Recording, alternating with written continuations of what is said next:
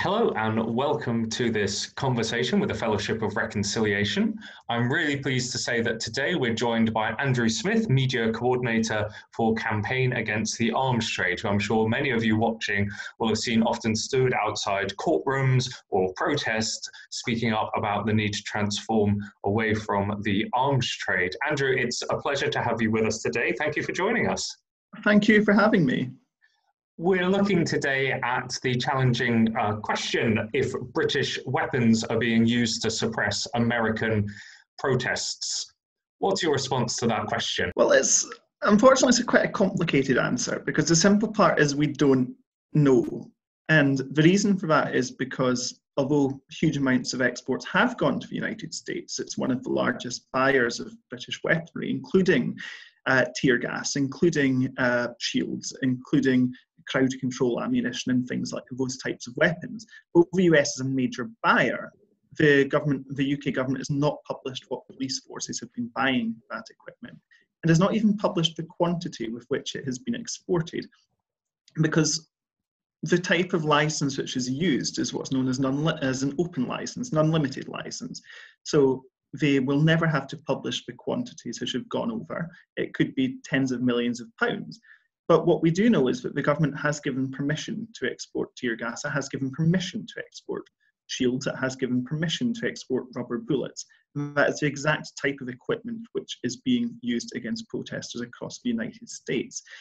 Um, so I think there's every possibility that it has happened.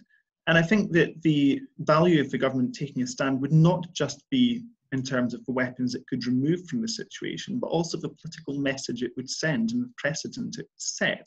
So we utterly urge the government to revoke all existing licenses for this type of equipment because there's clearly a clear risk that it will be used do you base some of that because you know if we don't send weapons there we don't send them anywhere? Or are in fact the same sorts of weapons being sold elsewhere in the world by this country and potentially used to suppress human rights and protests? Well in theory uk arms export control should stop the sale of this type of equipment in its entirety because it clearly says that if um, there's a clear risk that a weapon might be used for internal repression, then a sale should not go ahead. Now, tear gas and rubber bullets can only be used for repression, particularly when they are sold to authoritarian police forces around the world. And this isn't even the first time where we can point to and where we can point to an example where UK tear gas might be getting used, because in 2014, UK made tear gas was used in Hong Kong. It was used on pro democracy campaigners. Um, and at the time, the arms company who had produced it, Chemring, said that in light of these abuses, they would reconsider their export policy. While the UK government said that in light of those abuses, it would review um, whether there should be future licenses for this type of equipment.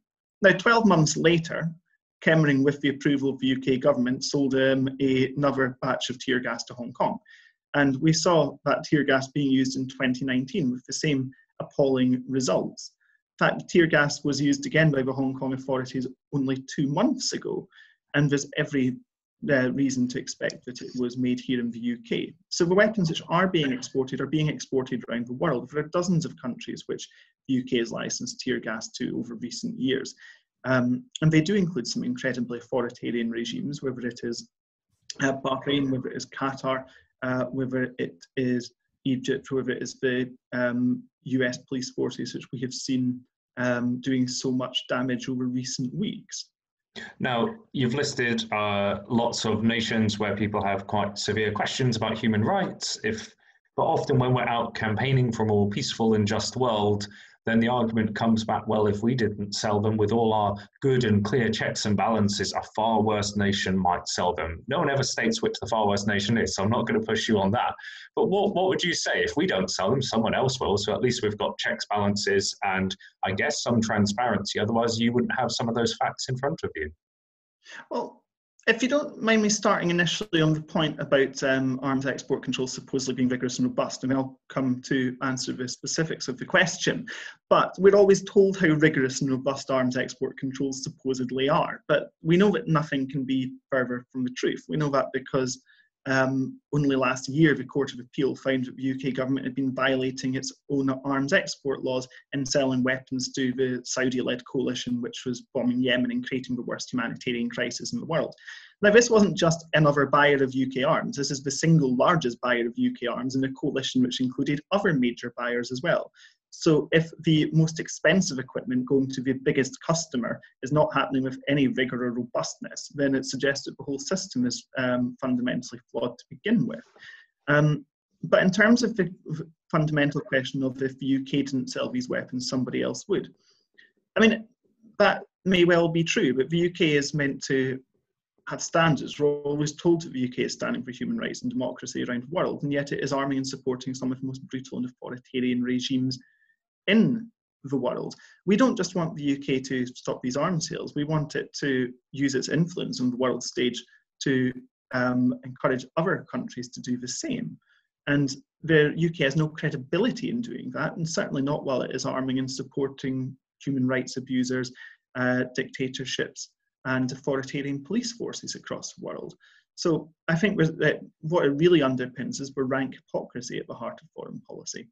And it may well be that the exports are bringing in some value for some companies, but the damage which we're doing around the world is, is priceless in effect.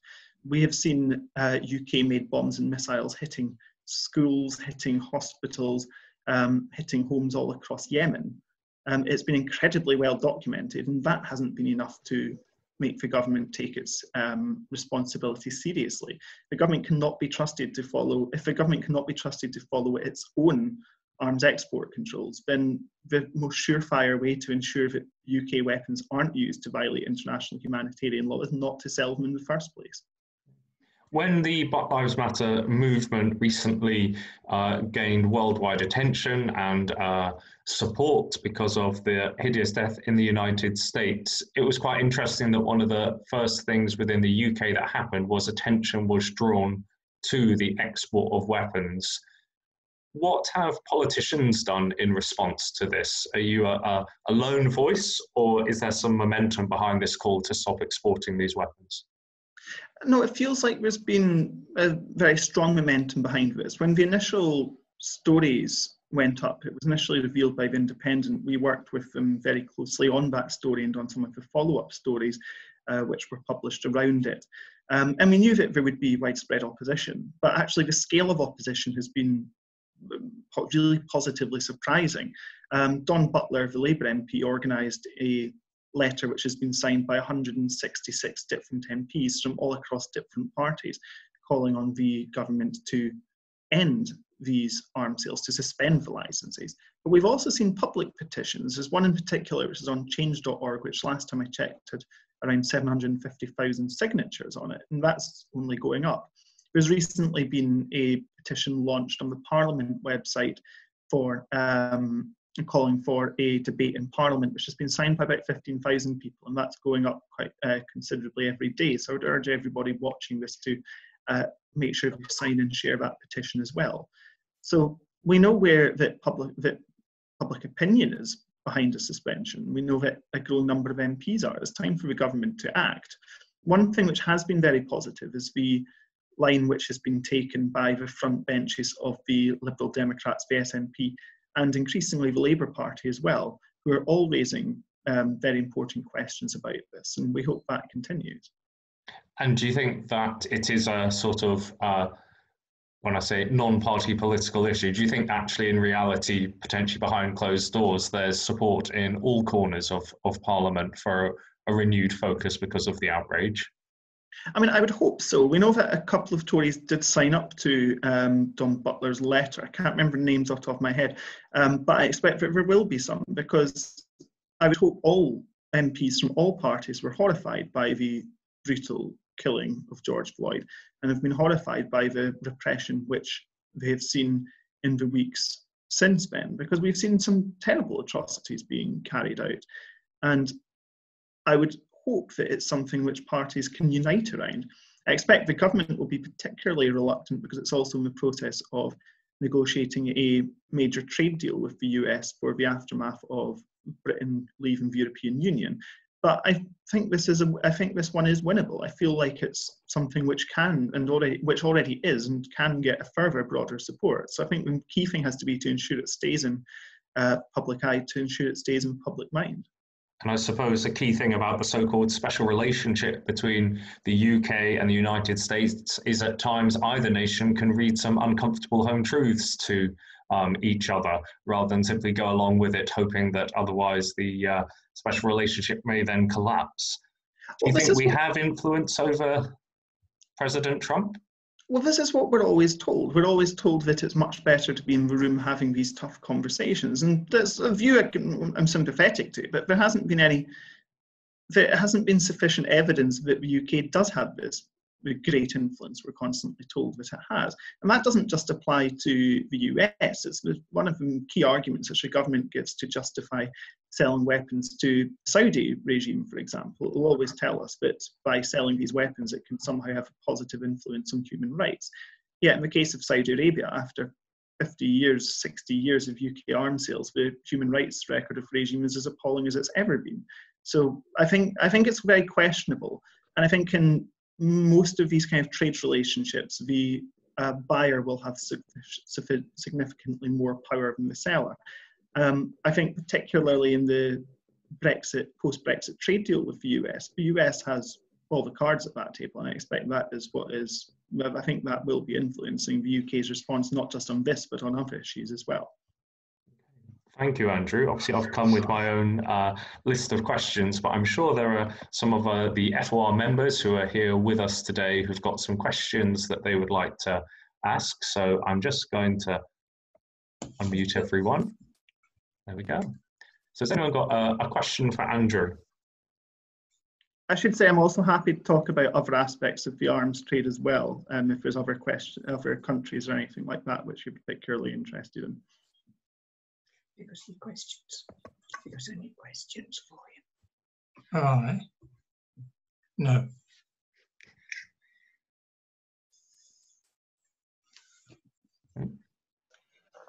If nobody else is coming in, I was horrified two days ago by Boris Johnson's announcement about merging the Department for International Development with the Foreign Office.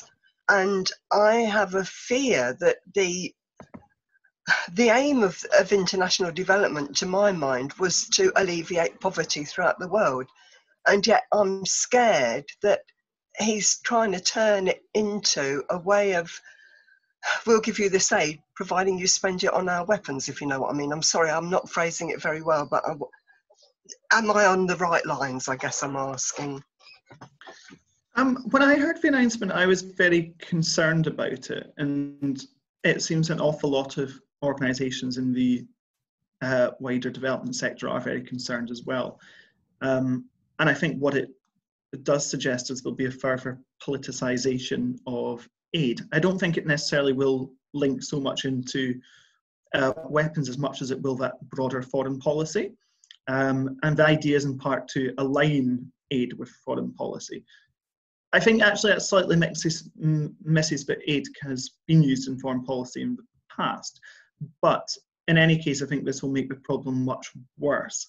I think arms should be seen as part of a much wider foreign policy, particularly in the Middle East, because while the arms industry is a global industry, the UK industry is a very regionalised industry. Actually, about two thirds of all UK arms sales every year go to one region, and that is the Middle East. Um, so I think we'll probably see a further alignment of development policy and foreign policy. I don't know how much of a role weapons will play in it, but certainly I expect this will be a move which arms companies will be welcoming. I certainly don't think it will be any hindrance to them.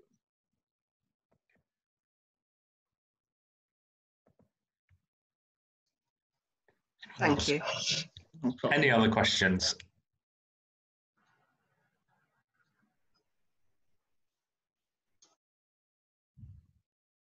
I should say there's one positive thing which I should have mentioned in the questions John was asking but didn't, which is that the Scottish Parliament um, set a very positive precedent last Thursday when it uh, voted to condemn UK arms sales to the US and call on the, US, on the UK government to suspend the sale of all anti-riot equipment.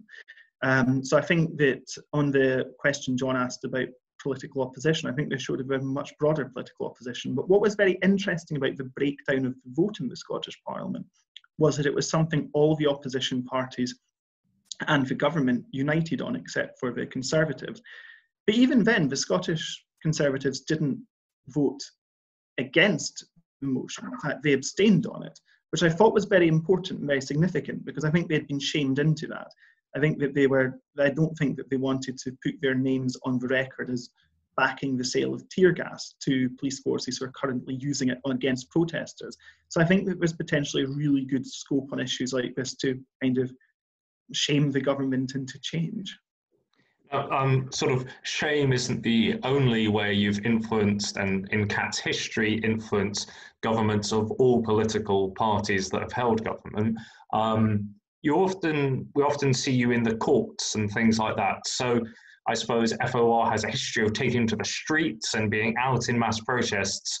Why is it important also actually to use things like legal avenues to try and stop and challenge things? Well, on the point about holding all governments to account, I want to underline that although you're right, the arms industry isn't a party political issue. Traditionally, um, Labour governments have followed much the same policies as Conservative governments. When there was a coalition government, it was a Liberal Democrat minister who was uh, presiding over um, the department which does arms sales. So it's very much been an institutional issue rather than a, a party political one. I think that's a point uh, well worth making. I think there was a potential leading up to the last election where I think a Jeremy Corbyn-led government may have done, well, I expected would have done things very differently because he's been a lifelong um, supporter of the anti-arms trade movement. Um, but historically, it's certainly been an institutional issue. In terms of the courts, we've been CAT's had two major cases which I think are worth drawing attention to. Um, the first one was in 2006 when um, CAT challenged a decision by the uh, UK government to drop a serious fraud office investigation into corruption on during a major uh, fighter jet deal between um, BAE Systems and the Saudi Arabian uh, government. Um, and we challenged that in the High Court and won, only for it to be overturned by the House of Lords afterwards, um, which I think showed in some respects the some of the limitations of the court. Um, but what it did do was cast it was expose an awful lot of the um, how the, that cosy relationship between the arms industry and government works and how close knit and com- morally compromising it has been. This um, I wasn't working for CAT at the time of that case, but um, I was at the time of our most recent case, which has been in relation to uh, the legality of arms sales to the Saudi-led coalition for use in Yemen. Um, and that case actually began in December 2015. We did a story of Newsnight announcing that it was going to be happening. And then in 2016, we went to the High Court, where we got permission to go to the High Court. Um, in 2017, we were in the High Court and lost. Um, then in 2018, we got permission to go to the Court of Appeal. Um, and then in 2019, we won in the Court of Appeal. Um, so it's been a very long, drawn out process. And in fact, we're going to be in the courts later this year. We'll be in the Supreme Court. The government is appealing the verdict. What us winning meant was that the government was banned from uh, from approving any new licenses to Saudi Arabia for arms which could be used in Yemen. Um, so I think overnight it stopped the ability of the government to um, sell new missiles and new bombs. And so that will have had a massive impact on arms companies and made it uh, significantly harder for Saudi forces to um, fight this war. However, there were some limitations to it as well, because while that stopped future sales, it didn't stop previous sales. So a license which was agreed on, the verdict was on June 20th uh, last year. So a license which was um, requested on the 21st would be turned down, but a license of the same weapon which had been approved on the 19th of June would still be valid. So there was a huge contradiction there. However, one thing which the government was had to commit to doing was um, implementing a full review of how um, the weapons which had previously been licensed have been used. Um, we're going to be doing an update on that over the weeks ahead. So I would ask, I would urge you all to uh, keep an eye on CAT's uh, Facebook and Twitter pages so we can update on what how that is progressing. Um, but I think the reason it was significant is because it sets precedent. um, when we went to the courts, there is a real life um, impact, which is that less weapons are going over. Um, but also beyond that, it sets a legal precedent which will hopefully make it much harder to do, to do this again in the future. And that's why it's utterly crucial that we win in the Supreme Court later this year as well. But as part of um, multiple there's multiple tactics we have to consider mm. i mean you highlighted demonstrations and we're totally um, supportive of demonstrations CAT's involved in organizing a lot of ones against arms fairs and things like that and we've joined you at that thinking about places like um, outside the ExCeL uh, exhibition centre, which uh, famously transformed itself from a place that hosted arms fairs to a place that helped supposedly care for the nation when it became a Nightingale hospital. And Much better at, use of space. Well, and this is it. Questions about climate change and things, I suppose, looking broader and longer. Part of FOR is about reminding us all of the dignity of all human beings, and we must recognize the immense amount of talent and skill that all people have, no matter what their work is, even if we question where the end result of their skills, what, what that creates, like hideous weapons and of war. You know, those are some still some amazing scientists What's CAT's view about the potential to transform the arms industry away from producing weapons of war to, to other potentially more useful things? I think it's really crucial. I think, I mean, a lot of the points I would make are ones which you've just made. So great minds are clearly thinking alike. But uh, yeah, the intricacy and skill which goes into making weapons is that's very rare. Some of the most skilled engineers in um, this country, some of the most skilled engineers in the world, are currently making incredibly destructive equipment. We would much rather that those skills were being used in, in positive areas of engineering. And I think climate change is the biggest threat facing all of us. And that is exactly the kind of area which is where green energy companies are crying out for more skilled engineers. Um, and it's a sector which would hugely benefit from government support. Because what we have to remember is that the arms industry receives a huge level of government support every year. There's, in fact, a Department for Civil Service, the Defence and Security Organisation, which is about 100 civil servants whose only job it is is to promote arms sales around the world. They work directly with arms companies to do so. If that kind of support was instead being put into other areas of engineering, it could transform the economy. And it's not, there aren't, uh, there's a lot, a lot of good moral reasons to do it, but actually there's a lot of practical ones too. Because even though the value of arms sales isn't going down, the number of jobs are, as more of it's become automated, more of it's become globalized. Um, and as a result, there's been a long term decline in arms company jobs, despite the fact that actually, unfortunately, the industry is very much booming.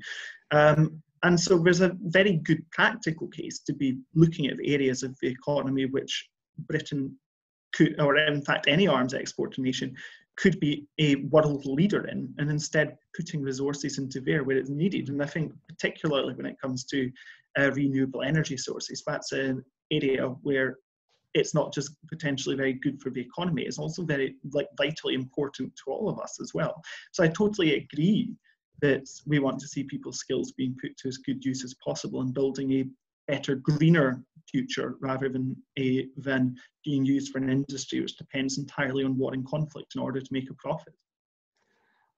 So you've worked for CAT for six years. Um, FOR and CAT have been around for much longer.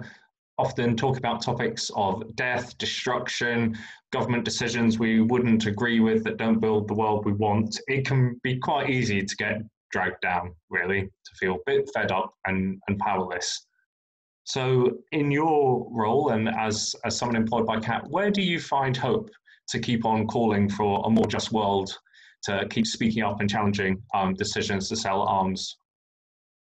Well, we always have to have positivity and hope um, because without it, it would be very hard to continue campaigning.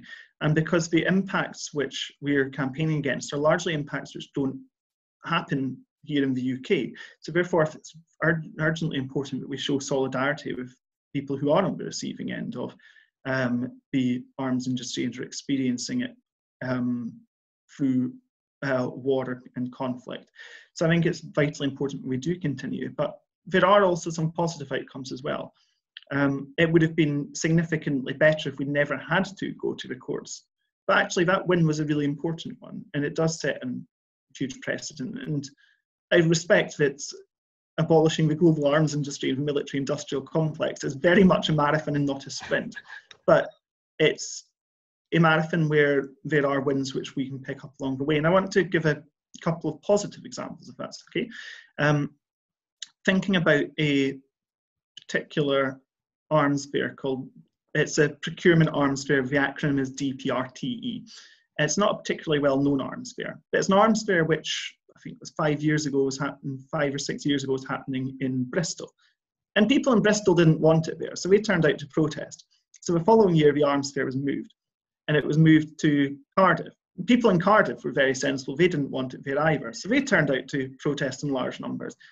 And so then it got moved again to Birmingham.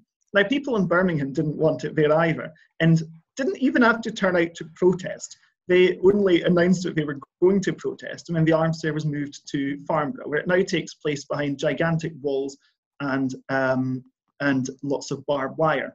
And I think what this shows is that when people know where the arms industry is and know that it's happening in area, they're quite rightly appalled by it. Um, and for the arms industry to be in a position where, despite all the huge amounts of money which it spends on PR, all the huge amounts of time and effort it puts into lobbying government, it's got to a point where it can only hold its events at a far removed airbase um, outside of a major, out in a small town outside of a major city and behind lots of barbed wire and security guards. And that's not because there's any threat to the individuals who are taking part, it's because they didn't want to be confronted with banners or protesters reminding them about the real world impact of what we're doing. Um, and we have to see as a positive that more people who are aware of what is happening, more people are taking action and more people who are willing to stop it. All the polling shows that the vast majority of the public are firmly um, against arms exports. That's the case in the UK. I've seen polling in uh, France as well, and I would expect the same polling across all of Europe. Um, and, and therefore, what we have to really be focusing on is mobilizing public opinion. But there is a positive story to tell because our movement isn't just one which is against things, it's also one which is for a more peaceful future, for an alternative approach to international relations, and for building that greener, better world where um, the skills which are currently being put into missiles and bombs are instead being put into windmills and other forms of, uh, of renewable energy. And that's the kind of future we want to be communicating and building. So we have to remain as positive as we can while telling that story, while also rightly, I don't, there's no heart, there's nothing wrong with being angry. There's a lot which people are rightly angry about. And the impacts we're talking, which we're talking about in in the US and Yemen and beyond are absolutely appalling. And that's something which we have to channel as well and not be afraid to do so. Thank you, Andrew, and uh, thank you for keeping our focus on the transformation that's possible. Um, the European region of uh, the International Fellowship of Reconciliation was due to be meeting in Paris a few weeks ago when the arms fair was due to meet there. Unfortunately, coronavirus meant uh, our members from around the region couldn't travel, but it also meant the arms fair couldn't happen. And it will be interesting to see that when we've discovered once that it can't happen, what other new futures are possible. So just to say thank you once again, Andrew, for your time today, for sharing all that you have, for challenging us to think more clearly as a fellowship about what it means to follow a peacemaker and to help build peace. Thank you. Thank Andrew. you very much. And it's really lovely to meet all of you. Thank you very much. I'm going to stop Thank the you. recording.